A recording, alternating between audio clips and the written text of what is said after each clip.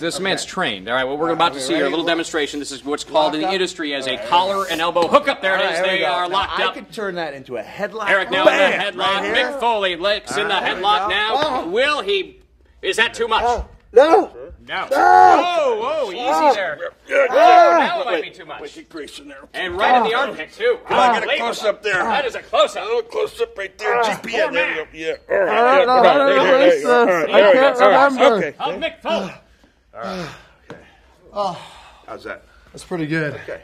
You see how exciting that is, though? That was good. You know, just break right into the match. I'm doing commentary. It's just you can see that Yeah. every Thursday night with TNA Wrestling. Impact. You okay? Yeah, that, that was fantastic. I'm glad you didn't pull out a sock or something. I have, I have one in the car. Yeah. Are you serious? Yeah.